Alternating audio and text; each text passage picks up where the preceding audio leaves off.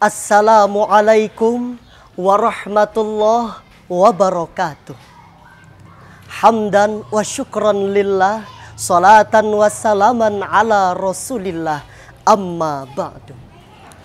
Pemirsa pelita hati TV Tabalong yang dimuliakan Allah subhanahu wa ta'ala. Sebagai umat Nabi Muhammad Sallallahu Alaihi Wasallam, ada dua tujuh belas yang tidak boleh kita lupakan Apakah 217 tersebut? 17 yang pertama yakni 17 rakaat solat fardu lima waktu.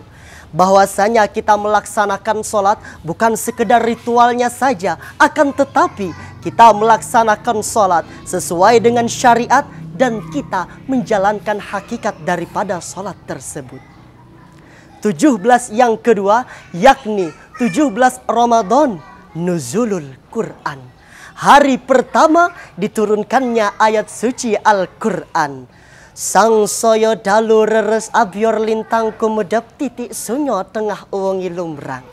Salah satu keistimewaan bulan Ramadan yakni 17 Ramadan bertepatan pada tanggal 6 Agustus tahun 610 Masehi ketika Nabi Muhammad sallallahu alaihi wasallam sedang bertahanus di Gua Hira, Allah Subhanahu wa taala mengutus malaikat Jibril untuk menyampaikan kalam ilahi.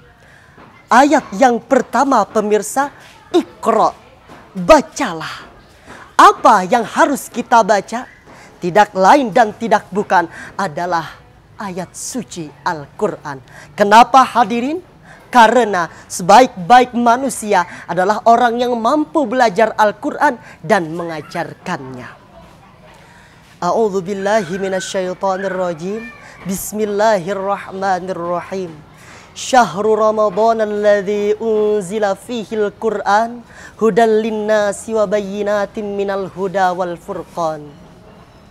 Bulan Ramadan adalah bulan diturunkannya ayat suci Al-Quran sebagai petunjuk bagi manusia dan sebagai pembeda antara yang hak dan yang batil.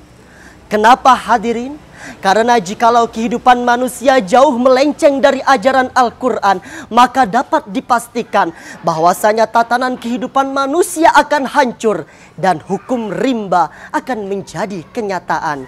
Siapa yang kuat dia yang menang dan siapa yang lemah dialah yang akan menjadi santapan. Pemirsa yang dimuliakan Allah, di dalam Al-Quran juga terkandung perintah yang utama bagi seluruh umat Islam, yakni kewajiban melaksanakan sholat. Namun pemirsa, ironi yang terjadi di negara kita saat ini, Zaman maju tapi banyak orang yang keliru karena mengikuti hawa nafsu. Zaman modern tapi banyak yang kelewatan. Kenapa? Sebagian besar umat Islam saat ini bukan malah berlomba-lomba dalam melaksanakan kewajiban dan kebajikan, tapi kenapa malah mereka ya sendiri terlena dengan kegiatan dunia yang tidak tahu arah dan tujuannya. Sebagai bukti, orang sholat subuh mereka asik lari maraton. Orang sholat zuhur mereka asik pergi ke salon. Orang sholat asar, mereka asik main badminton. Orang sholat maghrib, mereka asik mainkan handphone. Dan orang sholat isya, mereka asik nonton sinetron. Lalu kapan sholatnya? Dan orang-orang seperti ini kelak di dalam kubur akan terkena smackdown. Na'udzubillahi min zalik. So everybody hayya jami'an. Insya Allah wahai manusia Jika dirimu bernoda Dunia hanya naungan Untuk makhluk ciptaan Tuhan.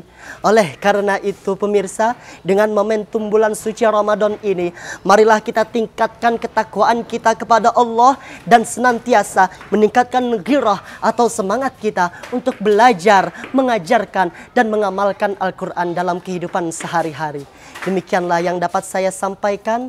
Mohon maaf atas segala kesalahan dan kekhilafan. Wabillahi taufik wal hidayah. Thumma warahmatullahi wabarakatuh.